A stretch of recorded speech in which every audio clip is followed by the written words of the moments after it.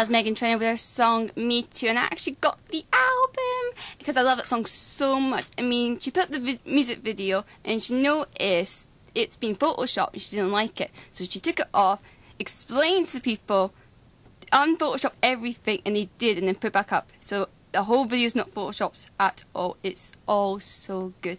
There's so much blue in it. Next up, guys, on Diversity Music is the one and only movie that's coming out in cinemas that I'm seeing very soon called Alice in Wonderland. So here's a track by Pink, her song Like Fire. Cannot wait to see this movie. I know that I'm running out of time. I want it all.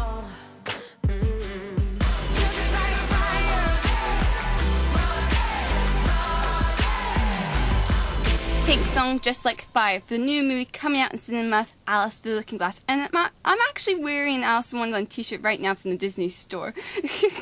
Next up, guys, Busted. Who were in Glasgow, but now they're going to be Birmingham tomorrow. James, Matt, Charlie, take us. The Busted, air hostess.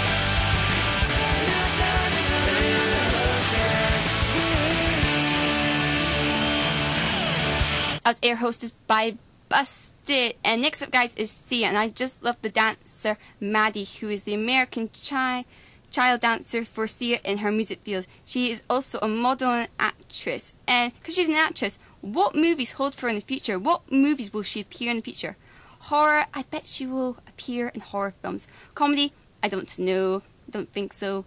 Uh, sci-fi films, she, I think she'll appear in sci-fi films. She could be this weird hero, has weird poses.